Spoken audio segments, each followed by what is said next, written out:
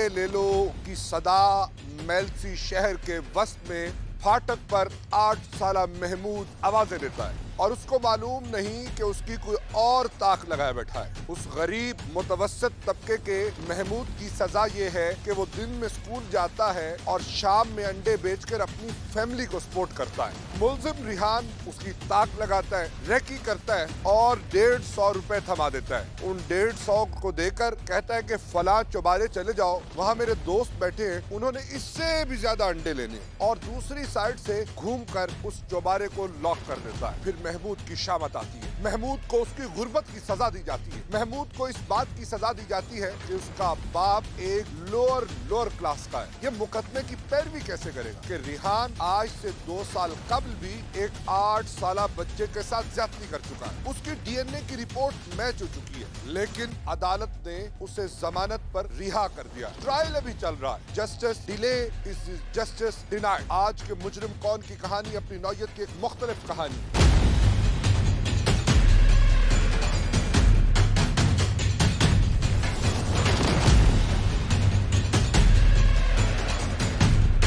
आपने इस सारे वाक्य के बाद अपने बच्चियों को और महमूद को स्कूल से क्यों निकाल लिया? इस बात से कि भाई ये अकेले आते हैं कि भाई एक रास्ते में आजकल जैसे भी डर के खौफ नहीं होता बस खौफ सी वजह से मैं इसको उनको निकाल दिया क्या वजह है? इस स्पेसिफिक केस के हवाले से आपकी क्या फाइंडिंग ये तो हमारी जो माशरत की बेरा रवि है अभी नौजवानों में वो जब दूर होगी फिर होगी। ये बच्चा भी अंडे बेचता था सर्दियों में उबाल के इसको वो नौजवान ले गए इसको। बाज़ार है मार्केट सुनसान है कि आज वो वहाँ से अंडे खरीदने जब वहाँ गया तो इसके साथ ज्यादती की। रिहान क्या वाक्य है? ये सब झूठ है सर जो अभी बोल रहे हैं बिल्कुल सब झूठ है ये। अच्छा। मैंने तो सब उसको मैं जानता थी कि ना मैं तो उसके साथ फिरा ना मैं लेना ना देना ये तो आप आप अपनी तरफ़ से कही जाते उसको कोई इतराज नहीं क्योंकि मेरे तो ये सब झूठ है ये। ये सारी ये तो ज़्यादा का निशाना बनाया जा रहा है तो मेरे को इंसाफी के बीच में डाला जा रही है तो इंसाफी है ना फिर ये तो? नहीं पिछले साल आप पर एफ़ हुई। पिछले साल भी एफ़ आई आर हुई थी लेकिन वो जब झूठ था सब वो। महमूद उस दिन क्या वाक्य पेश आया?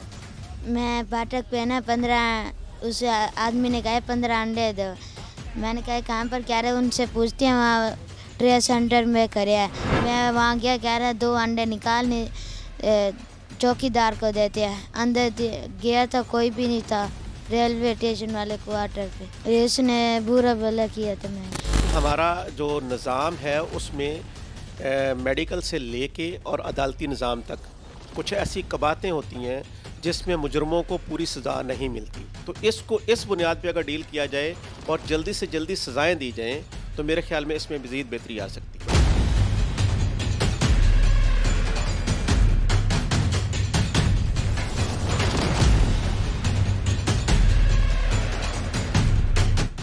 महमूद के वालिद मेरे साथ मौजूद हैं, जिनका ये हाथ बटाता था। ये उनका होनहार बेटा था। उनसे जानते हैं कि इस वहशतनाक वाक़े के बाद उनके ख्याल क्या हैं? आप क्या करते हैं जी? मैं मुलाजमत करता हूँ यूनिलेक्ट स्टोर पे भाई। क्या तनख्वाह? मेरी चौदह हज़ार तनख्वाह है। आज इस महँगाई के दौर में ये बड़ा मुश्किल है बच्चों के साथ फैमिली के साथ गुजारा करना इस तनख्वाह में। तो आप इसलिए भेजते थे कि थोड़ी सी हेल्प हो जाती। बिल्कुल ऐसे ऐसे मसला है कि भाई थोड़े बहुत ये हेल्प कर लेते थे। मेरी घर वाली मदरसे में पढ़ाती है कोई तनख्वाह उसकी थोड़ी बहुत ही आ जाती कोई मेरी आ जाती थी इससे हम गुजारा कर रहे हैं।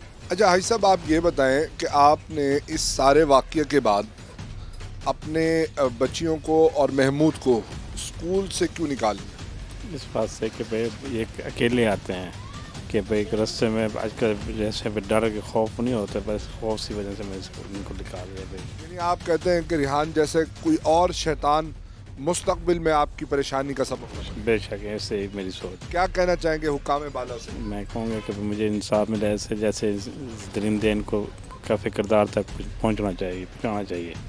तो मैं गरीब बंदों में मेरे साथ बिल्कुल इंसाफ होना चाहिए बिल्कुल। मेरिट पर होना। मेरिट पर होना चाहिए किसी नजायज़ के साथ जो हक जो इसके मुजरम है उसके सज़ा होनी चाहिए। पुलिस ताउन कर रही है? जी तावन कर रही है पुलिस तावन कर रही है।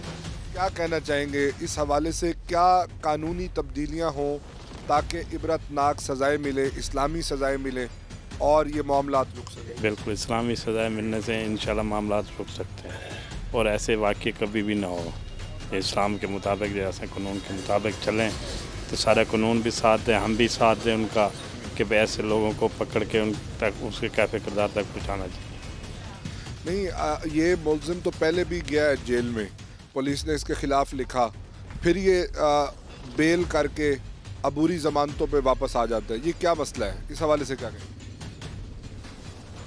ये तो जज साहब सोचना चाहिए था ना कि भाई कि भाई ये बंदा ऐसा है कि इसकी बेल लेनी भी नहीं चाहिए थी। कि भाई मैंने ये इसने एक वाक्य पहले क्यों हुआ था? अब मेरे बच्चे के साथ हो गया। अगर ये जेल से ना आता तो ऐसा वाक़ ऐसे वाक्य ना होता आप माफ़ तो नहीं कर देंगे। नहीं मैं इंशाल्लाह माफ़ नहीं करूँगा उसे। कानून के साथ खड़े हैं। उनके साथ। लोग बाज़ डर जाते हैं या किसी प्रेशर में आ जाते हैं। अगर आज इसके साथ हुआ तो कल यही आदमी यही बच्चा क्योंकि ये एक दफ़ा नहीं फिर फिर ऐसे वाक़यात दोहरा रहे हैं। मैं कानून के साथ खड़ा हूँ और मैं शरीफ शहरी हूँ अल्लाह के हुक्म से भी मैं कानून के साथ ही खड़ा हूँ। मेरे साथ जैसे भी कोई कहे मैं नहीं वो करूँगा। मैं इंसाफ चाहता हूँ, मुझे इंसाफ मिले। अब महमूद के वालिद इंसाफ चाहते हैं, वो कहते हैं कि सीसा पलाई दीवार बनकर मैं खड़ा हूँ और इसके बाद किसी और बच्चे को ये अपना निशाना बनाए, इसको अदालतों को, कानून को अपना रास्ता लेना चाहिए और ऐसे मसाइल थम जाएँगे। अगर बेल्स होती रहेंगी तो फिर किसी और की बारी होगी। हमें अपनी बारी से पहले आवाज़ उठानी है।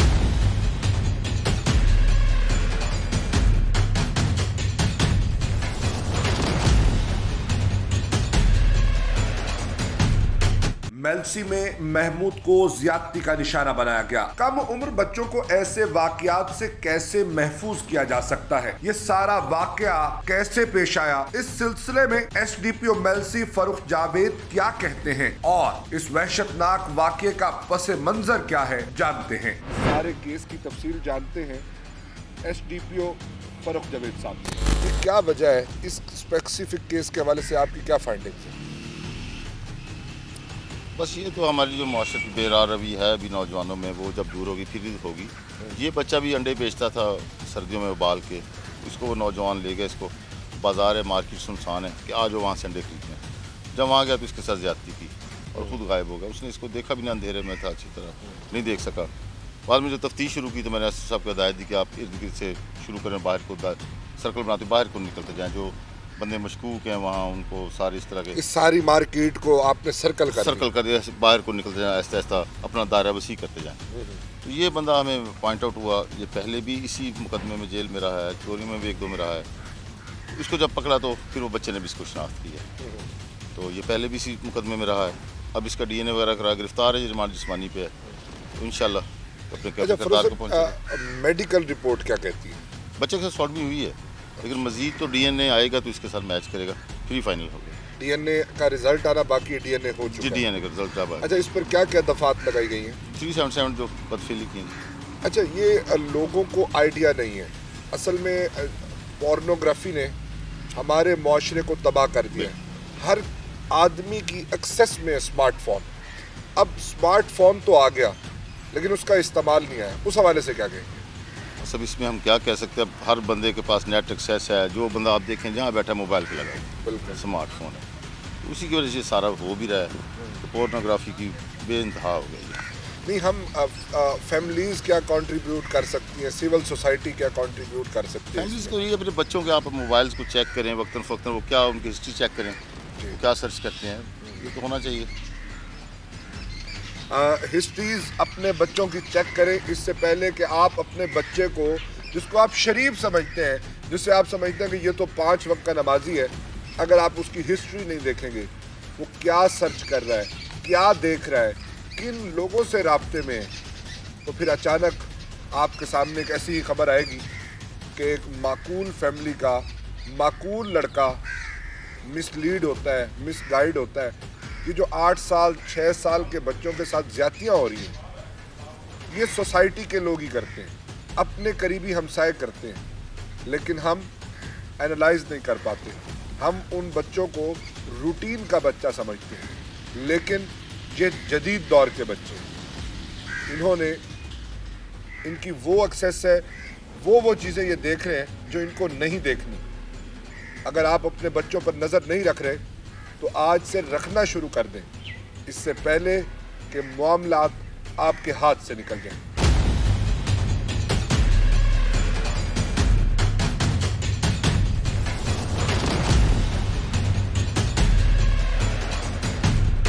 महमूद ज्यादती केस के सिलसिले में टीम मुजरिम कौन पहुँची मेलसी शहर में? महमूद का ताल्लुक एक गरीब घराने से है। महमूद अपने वालिद का हाथ बटाने और घर की गुर्बत मिटाने के लिए मेलसी रेलवे फाटक के करीब अंडे बेचता है। महमूद से ज्यादती का अफसोसनाक वाकया कैसे पेश आया? जानते हैं महमूद की जबानी। मेलसी फाटक पर महमूद जो टू क्लास का स्टूडेंट है, के साथ ज्यादती की गई।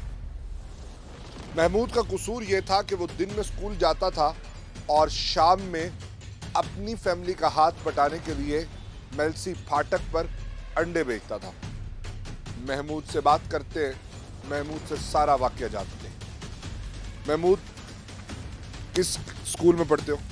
सिटी पब्लिक स्कूल में पढ़ते अच्छा महमूद मुझे ये बताओ कि कितने अंडे लेके आते थे और कितने बजे लेके आते थे? मगरिब के टाइम लेकर आता था बीस या लेकर आता था।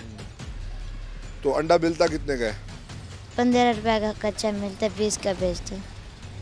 घर पे उबालते हो? जी। गैस का खर्चा भी तो आता होगा। जी।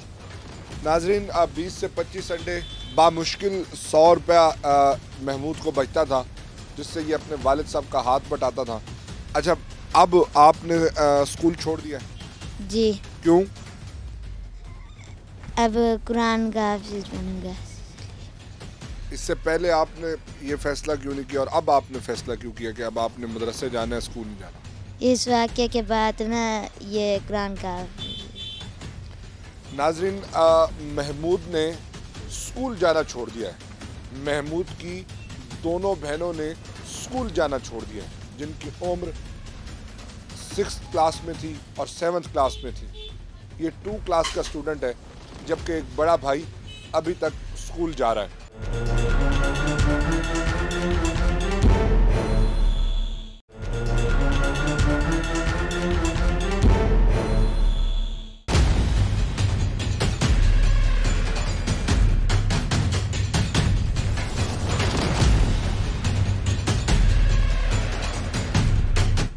मेलसी थाना सिटी की हदूद में मासूम महमूद के साथ ज्यादती हुई। ये था कि वो शाम को अपनी फैमिली को फाइनेंशियली सपोर्ट करने के लिए उबले हुए अंडे उबले हुए अंडे जब बेचने निकला तो उसे मालूम नहीं था कि वो आज एक ओवाश के हद पे चढ़ने जा रहा है।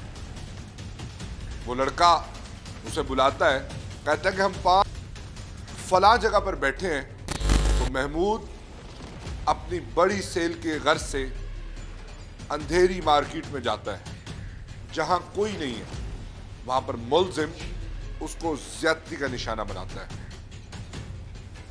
हॉस्पिटल और डॉक्टर्स की रिपोर्ट के मुताबिक बच्चे के साथ ज्यादती हुई है।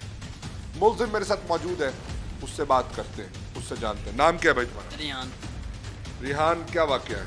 ये सब झूठ है सर जो अभी बोल रहे हैं बिल्कुल सब झूठ है ये। अच्छा। मैंने तो सब उसको मैं जानता थी कि ना मैं तो उसको फिरा ना मैं लेना ना देना ये तो आप आप अपनी तरफ़ से कही जाते उसको कोई इतराज नहीं क्योंकि मेरे तो सब झूठ है ये। तो- झूठ है? हाँ जी। और पिछले साल एक एफ़ आई आर एक मिनट ना बात तो पूरी होने दो। इतना जज्बाती क्यों हो रहे हो?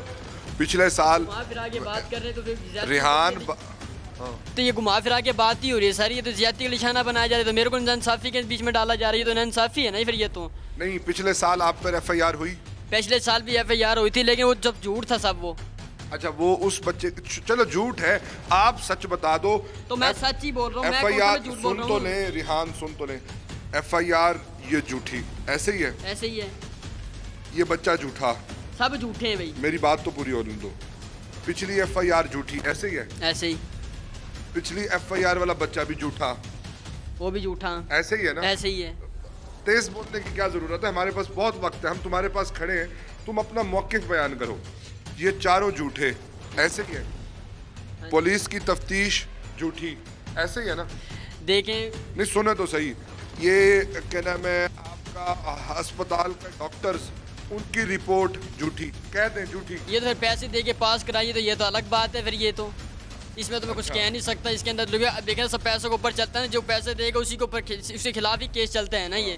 तो गरीब हमारे तो कुछ गरीब नहीं तुम्हें क्यों पैसे लेके तुम्हारे खिलाफ केस बनाए जा रहे हम इसीलिए तो तुम्हारी आवाज़ तो बनने आए हमें बताओ ना हमें समझाओ। तो अपने आप को भी नहीं पता ना ये मेरे मेरे खिलाफ ये वाम क्यों खड़ी हो रही है? मुझे आपको समझ ही नहीं आ रही है तो। अच्छा। हाँ जी। ये नामालूम लोग हैं जो तुम्हारे नाम पहले मैं क्या नाम ले इसका मुझे कहना है शनाख्त प्लेट करानी है आपकी। मुझे रेडी पे उठा के यहाँ लिया तो बच्चे ने कहा भी जैकेट ये तो बंदा ये नहीं है। तो इसका मतलब ये तो नहीं ना जैकेट तो हर इंसान एक जैसी पहन रखी मुझे चूँकि थाने के अंदर बंद कर दिया ये तो फिर ज्यादती है ना फिर ये तो। मैं तो मैं तो जानता थी करे नहीं। जब मुदई ने कह दिया मैं तेरे खिलाफ पर्चा नहीं दिया तो पर्चा फिर दिया किसी ने ये ये टीएचक्यू हॉस्पिटल ने जो रिपोर्ट दी है और कहा है कि बच्चे के साथ ज्यादती हुई है और डेढ़ इंच का जख्म है। वो कौन वो क्या मुझे दिखा तो सही कि रो पोर्ट तो दिखाएँ कुछ सबूत तो दिखाएँ ना मेरे को तो पता ही नहीं चीज़ गई तो। अच्छा। अब देखे ना कहने अच्छा पिछली एफआईआर में तुम एक साल रह के आए हो। किधर? मैं एक साल रह के नहीं आया। कितना अरसा मैं तो तीन महीने काट के आया हूँ वहाँ पे मैं। कहाँ पे? बिहाड़ी में। उस बच्चे की उम्र कितनी थी? उसकी थी कोई दस ग्यारह साल उम्र ही होनी इसकी इसकी कितनी थी? इसको तो मेरे को नहीं पता मेरे सामने नहीं आया मैं तो उसको नहीं जानता सर मैं नहीं अच्छा जानता। चलो ठीक हो गया। आ, उस बच्चे ने जिसने पिछले साल तुम्हारे पे एफआईआर कराई। उसको तुम जानते थे? मैं किसी जानता इतना नहीं था वो मदरसे पढ़ता था। मैंने उसे पैसे लिए मदरसे में पढ़ते हो? नहीं मदरसे नहीं पढ़ता मैं चाय की रेडी पर रेडी के पास काम मदरसे के बाहर रेडी है? नहीं नहीं वो तो क्या नाम है इसका मामशा बुखारी में लग रही है ईदगाह में अच्छा। पिछले बच्चे के साथ क्या तनाजा था? मेरे से कोई तनाज मेरे को पैसे पूछे लेने थे हज़ार रुपये लेने थे उस पर पैसे नहीं थे। मैंने उसको बोला तो फलानी थी जब तेरा और फिर तुमने ज्यादती कर मैंने ज़्यादा नहीं करी उसकी भी रिपोर्ट नहीं आई वो ज़्यादा नहीं है। अस्पताल की मेडिकल रिपोर्ट के पास के मुताबिक उसके अंदर कुछ ज्यादती का निशाना नहीं बना उसके साथ। ये नान साहब की तरह मुझे फंसाया जा रहा है इसके अंदर तो ये। अच्छा। ये तो कोई केस ही नहीं बनता इसके अंदर तो। जिस तरीके से आप बात करें भाई ज्यादती का निशाना बना ज़्यादा इस तरह ही हो जाती है। किस तरह से होगी मुझे क्या पता किस तरीके से होती है ये तो, तो अच्छा तुम्हारी उम्र क्या है? मेरी उम्र तो अठारह सौ उन्नीस साल उम्र है। नहीं। अच्छा और उस बच्चे की उम्र जबकि है आठ साल। इस बच्चे की उम्र भी तो आठ साल मेरी तो सुन लो ना। पूछा ना कि दस साल उम्र है क्या अठारह साल है मेरे को जितने मेरे सामने मैं तो यही कहूँगा दस बारह साल है कितनी उम्र है तो पूछा तो नहीं ना आपकी कितनी साल उम्र है। अच्छा आठ साल या दस साल का बच्चा भी मैं मान लू तुम्हारी बात। ठीक है। उसको तुमने एक हज़ार रुपए क्यों उधार दे दिए? उधार दादा हो। और भाई वो दादा की बात नहीं उधार पैसे नहीं देते वो मैंने बल्ला शल्ला मैच मुँह से खेलता था क्रिकेट वगैरह। हाँ। तो उसके मैंने सामान समून लेके दिया था। अच्छा तुम्हारी उससे दोस्ती हो गई और तुमने उसे सामान ले जान मेरी दोस्ती नहीं हुई ना मैंने उसे कुछ क्या हुआ? जान पहचान दोस्ती मेरी को जान पहचान नहीं मेरे भाई सब झूठ है मेरे को क्यों फंसाया जा रहा है? घुमा फिरा के बात कर रहे हैं आप। घुमा फिरा के नहीं करते ना। आप उसके साथ एक ताल्लुक को इस्टेब्लिश करें। देखें ना आप कह रहे हैं कि एफआईआर झूठी बच्चा झूठा उसकी फैमिली झूठी मेडिकल रिपोर्ट झूठी ऐसे ही मैं आपकी बात से इतफाक़ करने को तैयार हूँ। मेरी बात तो सुने। लेकिन आप ये थोड़ा सा बताएँगे कि नहीं बताएँगे लोगों को कि ये मामला क्या था? किस तरह से आपका उसके साथ ताल्लुक़ बना? किस तरह से आपने उसे हज़ार रुपया दिया या हज़ार का सामान दिया? वो सारी बात आप इस्टेब्लिश करें ना, ताकि आप, कि थोड़े से लोग भी जाने कि आप जैसे शरीफ आदमी के साथ दो दो एफ़ आई आर हो जाती हैं। आपके साथ ज्यादती क्यों हो रही? हम तो आपकी आवाज़ बनने हैं। आप समझ नहीं ये रहे तो फ़िलहाल मेरे को अभी मेरे जहन में भी नहीं है मेरे को समझ मेरे को तो आपको भी नहीं आ रही अभी तो। ये क्यों हो रही है दो दो एफ़ आई आ रही है हाँ नहीं वो कुछ पता पिछले बच्चे की उम्र कितनी थी? आपने उसे हज़ार का सामान क्यों लेके दिया? अब मैं आपको कैसे याद दिलाऊं कैसे बताऊँ? मैंने मेरा भाई जैसे जैसे वाक्य वैसे बताएँ। मुझे कुछ भी नहीं पता भाई। आपको कुछ पता नहीं है।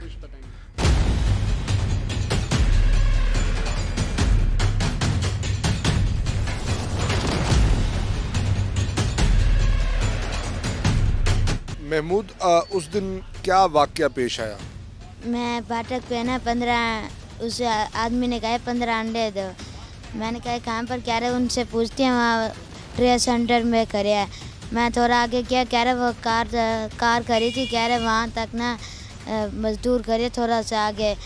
वहाँ अंडे देने अब मैं वहाँ गया कह रहा? दो अंडे निकाल नहीं अ, चौकीदार को देते हैं। अंदर गया था कोई भी नहीं था। रेलवे स्टेशन वाले क्वार्टर पे। उस फिर? इसने बुरा भला किया था मैं अच्छा वहाँ पे कोई भी नहीं था और वो अंडों वाली कहानी झूठी कहानी। जी। आपने उसकी पहचान की है? उसने मास्क लगाया हुआ था। और जैकेट? जैकेट जैसे सुरमई सुरमई रंग की थी। जिस रंग की इस मुलजिम ने जो पकड़ा हुआ है उसी ने पहनी हुई है वही थी। जी। अच्छा। आप क्या चाहते हैं? क्या होना चाहिए इस मुलजिम के साथ? इंसाफ सजा हो मुलजिम को? जी। ताकि आप जैसे आ, मासूम फूलों को तंग न कर जी। इसको जीने का हक है? माशरे में इनको खुला छोड़ा जा सकता है? नहीं।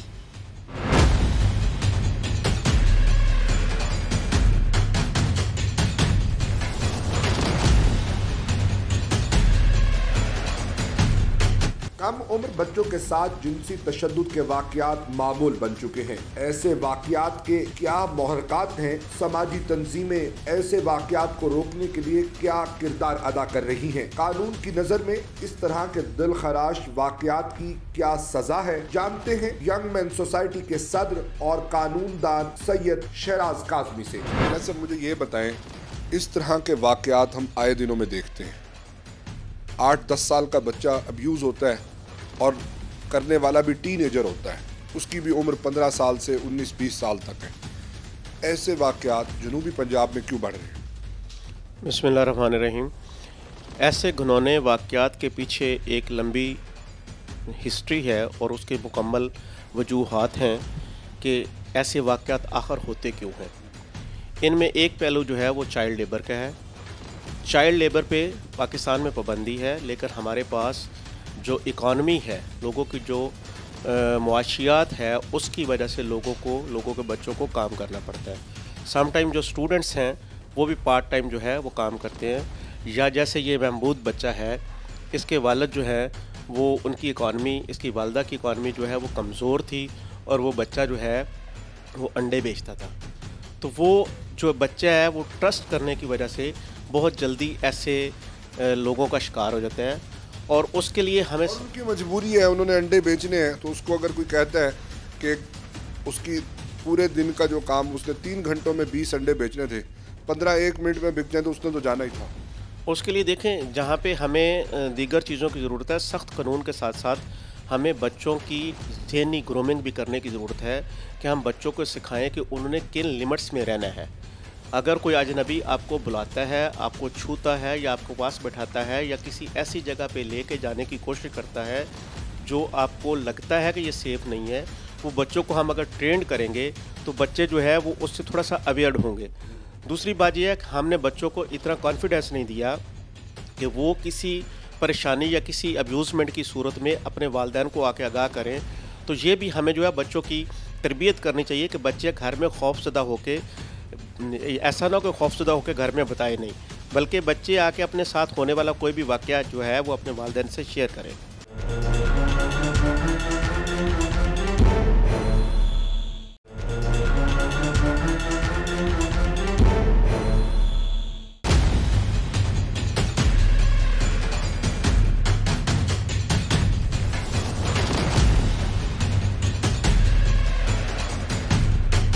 मेलसी में महमूद को ज्यादती का निशाना बनाया गया। कम उम्र बच्चों को ऐसे वाकयात से कैसे महफूज किया जा सकता है? महमूद ज्यादती केस के सिलसिले में टीम मुजरिम कौन पहुँची मेलसी शहर में? महमूद का ताल्लुक एक गरीब घराने से है। महमूद अपने वालिद का हाथ बटाने और घर की गुर्बत मिटाने के लिए मेलसी रेलवे फाटक के करीब अंडे बेचता है। महमूद से ज्यादती का अफसोसनाक वाकया कैसे पेश आया?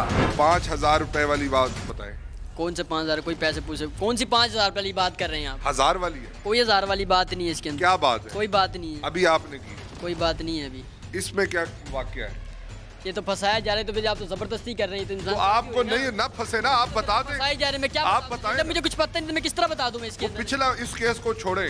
किस आप- केस को छोड़ दो? किस कौन से छोड़ दो? आपको छोड़ दो एक- थोड़े मुर्दे उखाड़े के तैयार कर रहे हैं मेरे को समझ नहीं आ रही अब क्या कर रहे हैं आप? गढ़े मुर्दे आपने दफनाए हैं तो उखाड़ रहा हूँ ना। उखाड़ रहे हैं। सर मुझे कुछ भी नहीं पता। कोई मुझे मुझे मालूम नहीं है। हज़ार रुपए का सामान आपने ले दिया आपकी जान पहचान हो गई। नहीं ऐसे ही है? नहीं कुछ भी नहीं। नहीं, जान पहचान भी नहीं हुई? नहीं।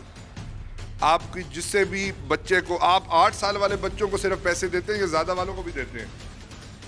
सब ये सब झूठ है। क्यों आप ये परेशान अभी आपने खुद कहा है कि मैं फिर आप क्यों मुझे परेशान कर रहे हैं? घुमा फिरा के आप बात करे जा रही हैं। मैं घुमा फिरा के वही बात कर रहा हूँ जो आप कर रहे हैं। सर मुझे कुछ ही मालूम नहीं है। आपको कुछ मालूम नहीं। तो बच्चों को पैसे देते हैं आप या बैट लेके देते क्या लेके देते लोगों को भी पता चले ना आप रफाए आमा का काम कर रहे हैं। मैं कुछ भी लेके देता भाई दे। गलती होगी तेरे को बता के मुझे कुछ भी लेके देता भाई। गलती की भी तो सही ना। हुई बताया बताना गलती नहीं है गलती करना गलती है। मैंने कुछ भी नहीं करा सर। चोरी का भी कोई मुकदमा है? नहीं सर। मैंने कभी चोरी करके नहीं देखी इसके अंदर तो। मेरा क्या काम चोरी से मैं? ज्यादती करके देखिए। नहीं कोई ज्यादती नहीं करी। मैंने किसी ज्यादती मुझे कोई सबूत दिखाएँगे उसी सी कैमरे दिखाएँगे कि रिपोर्ट दिखाएँगे फिर मुझे पता लगे अभी ताकि ये होया क्या नहीं होया कि पैसे दे के आवाज़ कराएँगे किस तरह करा मुझे तो आपको समझ में नहीं है यही तो मैं पूछना चाह रहा हूँ कि आपके खिलाफ कौन पैसा लगा रहे है? मुझे क्या पता कौन मेरे मुद्दे ही लगा रहे कौन लगा रहा है मुझे अल्लाह ही बेहतर जाने कौन पैसे लगा रहा है मेरे खिलाफ? मुद्दई इतना अमीर होता तो वो अंडे थोड़ी बेचता उसका बच्चे। फिर यूँ ही पर्चे हो गए यूँ दरखास्त हो गई तो आपकी समझ नहीं आ रही ना मेरा भाई मैं तो इस मामले में कहीं पढ़ा नहीं ना इस चीज़ के अंदर सर। अच्छा। हाँ जी। पिछले वाले में पड़े थे? पिछले पिछली गलती हुई इधर नहीं किया। आप पिछली भी नहीं हुई तो ये अभी भी गलती नहीं हुई ना तो मैं कैसे मान लू गलती? अच्छा वो बच्चे को आपने कितने पैसे दिए थे बैट बॉल लेके मैंने कुछ भी नहीं लेके दिया सर कुछ भी नहीं अभी लेके आपने कहा नहीं? सर कुछ भी नहीं लेके दिया गलती होगी भाई मेरे से। क्या यानी आइंदा नहीं करोगे ये बात है। नहीं नहीं अंधा करेंगे मैंने करा नहीं तो मैं आंदा किस तरह कर लो? जब मैंने कुछ करा ही तो कैसे मान लेंगे आप? जब कुछ करेंगे तो मानेंगे ना? जब कुछ करा नहीं तो कैसे मान लेंगे भाई हम? ये तो फिर आप घुमा फिरा के तो बात कर लेते तो ये तो अलग बात है सर इसमें तो मुझे नहीं पता। चलो आप ये बता दे सामान क्या लेके दिया था? कुछ भी नहीं लेके दिया। अच्छा। हाँ जी। अभी तो आप कह रहे थे हज़ार रुपए मैंने उसका देना था। सर मैंने पैसे लेने तो उससे घुमा फिरा के बात कर रहे हैं। अच्छा वही बता देना मैं मुझे तो पता नहीं आपके दरमियान क्या वाक्य आप ही बताएँगे ना आप बताएँगे नहीं तो मुझे ख्वाब थोड़ी आएगा। मैंने उसे पैसे लेने थे हाँ। हज़ार रुपया। ठीक है। वो कहने लगा मेरे पैसे आज नहीं है कल दे दूँगा। ठीक है। कल नहीं मिला परसों नहीं मिला फिर अगले से दिन मुझे मिला मैं पैसा क्या बना कहने लगा मैं तो शाम को दे दूँगा। ठीक है। शाम को देने के जो घर चला गया घर अपना वो डाटा बताने लगा मेरे से जाके ज़्यादा करी मेरे से लिशाना रिहान ने यूँ करा क्योंकि मैं तो पहली बार उसको इतना जानता ही नहीं था। ना मुझे उतना नाम का पता है ना मेरे जाके डालता मैं इसके बाद ये पहले वाले वाक्य बता रहे हैं या एफ़ पिछली एफ़ का बता रहे हैं? बता रहा हूँ मेरा भाई। पिछले का पिछले ही था ना ये। पिछले का यही बस यहाँ तक मामला फिर पर्चा दे दिया फिर थाने हो गए फिर इसके यही बात है। अच्छा यानी आपका पहले हज़ार रुपया गया फिर उसके बाद उन्होंने आपके ऊपर झूठी एफ़ आई करा ऐसे ही मामला है। अच्छा उसका मेडिकल बच्चे बच्चे को मार पीट के मनवाया गया घर पे। क्या मनवाया गया? भाई कहने लगा भी बच्चे ने सब बताया लगा तो भाई मैंने इसके पैसे देने तो उसने घर बताया रिहान ने यूँ करा यूँ करा भाई जाति का निशाना मेरे से बनाया उसके बाद बच्चे को दो चार धाप मार के भाई माँ बाप ने उसको मनवा लिया बच्चे। क्या मनवाया? भाई कहने लगा जाके तुरंत गवाही दे देनी भाई यही है। तो यही है तो भाई भाई कोई रिपोर्ट भी नहीं आई अभी कोई इस केस में आपके साथ नाइंसाफ़ी हुई है या नहीं हुई? ये फैसला होना बाद की बात है। आप ये बता दें कि आपने उसे नकद पैसे दिए थे या क्या किया था? कोई न... मैंने पैसे नकद नहीं दिए थे। उससे पहले क्या नाम है को सामान समून था इसके पास? ने मेरे को दिया था। क्या स... वो- आपने उसको दिया था? क्या सामान था? सर मुझे नहीं पता ये देखना। ये नाजरीन मुलजिम खुद ही कंफ्यूज है। कि वो कहाँ पे की बात को कहाँ मिला रहा है। पहले कहता है कि जी उसकी उम्र आठ साल है। मैंने कहा, आठ साल के बच्चे को आपने पैसे क्यों कर दिए? तो कहने लगा कि मैंने पैसे नहीं दिए, मैंने सामान दिया। भी कैसे जानते थे? उसकी लड़ाई हो रही थी, ये सुलह कराने गए, ये इलाके के दादा बन गए जी वहाँ पे। और फिर उन्होंने पता नहीं किस तरह उसको बैट या बॉल हज़ार रुपये की मद में दे दी। और बच्चों को अब्यूज़ करते रहे। उसके बाद इन पर एफ़ आई आर हुई, ये जेल हुए। और सब चीज़ों को डिनाई कर रहे हैं। मेडिकल रिपोर्ट को भी डीएनए को भी। पिछला केस आप कहते झूठा था। मुझे नहीं मालूम सर। डीएनए हुआ? सब कुछ होया मेडिकल मैच हुआ? ये नहीं पता मेरे को क्योंकि मैं वहाँ रिपोर्ट आएगी तो पता लगेगा ना। अभी आपको रिपोर्ट नहीं मिली? नहीं। जमानत पर वापस आए हाँ जी।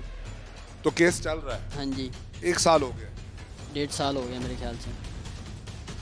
और फिर आते फिर वही हरकत। ये वही हरकत नहीं है ये फंसाया जा रहा है मेरे को ये ये नानसाफ़ी और ये फंसाया जा रहा है कोई तागूती ताकतें हैं कोई यहूदी एजेंट तुम्हारे खिलाफ हैं कोई रॉ तुम्हारे खिलाफ काम कर रही है सीआईए काम कर रही है तुम इधर कोई एटम बम बना रहे हो क्या काम ऐसा तुम कर रहे हो कि सब तुम्हारे खिलाफ करे हो के तुम हो कौन? सवाल ये है। वही तो आपको नहीं पता मैं कौन हूँ। मुलजिम जो है आ, इसकी पिछले केस के अंदर डीएनए रिपोर्ट मैच कर चुकी है इस केस के अंदर अभी डीएनए रिपोर्ट मैच होना बाकी है। ये है अदालतों से सवाल कि वो किस तरह से इन लोगों को बेल पर रिलीफ देते हैं और रिलीफ देने के बाद ये जाकर माशरे के अंदर फिर से वही बिगाड़ पैदा करते हैं।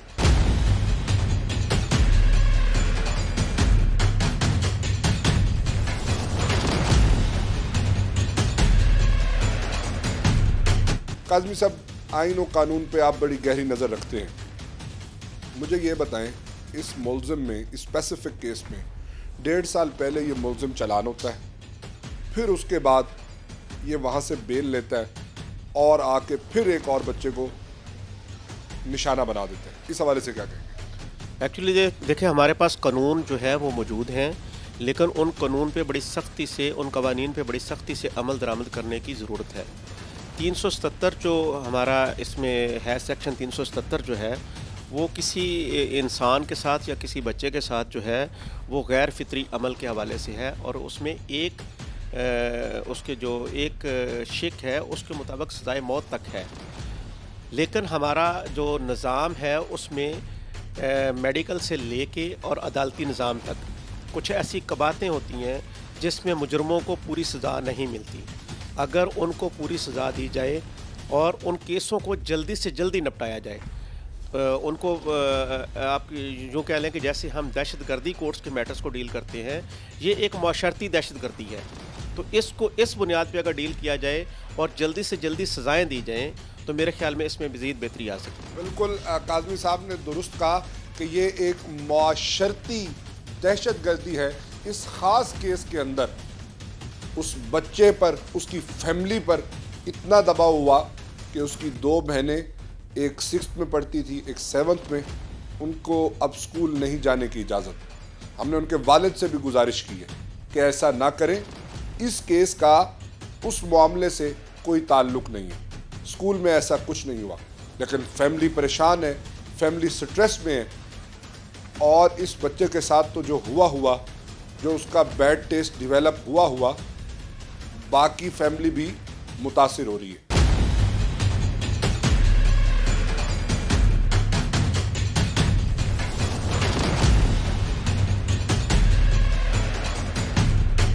जिला विहाड़ी तहसील मेलसी, उम्र आठ साल, नाम महमूद। कसूर सिर्फ़ और सिर्फ़ गुर्बत। कसूर यह है कि वो सुबह में स्कूल जाता है और शाम को अपनी गरीब फैमिली को उबले हुए अंडे बेचकर हेल्प करता है। अपनी गरीब फैमिली को सपोर्ट करता है। अपने छोटे बहन भाइयों के लिए कुछ ना कुछ लेकर जाता है। इस कसूर की सजा यह है कि एक औबाश उसे अंडे खरीदने की लालच से एक गुमनाम गली में ले जाता है। उसके साथ ज्यादती करता है। इस केस को शुरू से लेकर अब तक कवर करने वाले हमारे स्पेशल क्रॉसपॉन्डेंट अब्दुल समद चौधरी मेरे साथ मौजूद है। अब्दुल समद से जानते हैं एफआईआर कब हुई, ये मामला कैसे पनपा और कितने दिन के अंदर मुलजिम गिरफ़्तार हुआ, मुलजिम की हिस्ट्री क्या है, सबसे इंपॉर्टेंट बात। और हमारी अदालतें क्या कर रही हैं। अब्दुल समद, आपने इस केस को देखा। कब वाक्य पेश आया? और कितने दिन बाद मुलजिम पकड़ा गया? देखिए एक वाक़ बड़ा अफसोसनाक है फरवरी के शुरू में ये वाक़ जब पेश आता है शाम के वक्त एक बच्चा जिसकी उम्र महज आठ नौ साल है मेलसी फाटक पर वो गर्म अंडे बेचने और ये बड़ी आ, आपके शहर के वस्त की जगह है सबसे रश वाली जगह है। जी बिल्कुल ये सबसे रश वाली जगह है दिन हो या रात हो ये बिल्कुल रश वाली जगह है वैगन स्टैंड भी यहाँ पर मौजूद है दीगर शहरों में जाने के लिए चौरस्ता अगर कहा जाए तो यही है। चौक है आपका मेन चौक है बिल्कुल। ये मेन मेलसी फाटक जो है ये हमारा मेन चौक है। और यहाँ पर बच्चा सदाई लगा रहा है उबले हुए अंडे बेचने की। दिन को स्कूल जाता है और रात के वक्त ये अंडे बेचकर अपनी ज़िंदगी का अपने घर वालों का जो है वो गुजर बसर करता है। ये बच्चा जब अंडे बेच रहा है तो ये जो मुलज़म है रेहान ये बड़ा ही शातर मुलज़म है। पहले भी ये रिकॉर्ड याफ्ता है। इसी तीन सौ सतर के हवाले से। ये टारगेट करता है आठ से नौ साल की उम्र के बच्चे को? जिन जो ना समझ हो जो मासूम हो। बिल्कुल ऐसे ही ना समझ मासूम बच्चों को आठ से नौ साल के बच्चे को इसकी पिछली एफआईआर हमने देखी है इसका करेक्टर देखा है उस पर जो हमने तहकीक की है तो ये टारगेट किलर है इन बच्चों का। उन बच्चों का टारगेट करता है उनको ज़्यादा का निशाना बनाता है। इसने बड़ी चालाकी से देखा कि बच्चा अंडे बेच रहा है उसको कहा कि वहाँ पर फाटक के साथ ही मेलसी ट्रेड सेंटर है वहाँ पर कहते हैं चुबारे पर लोग बैठे हैं।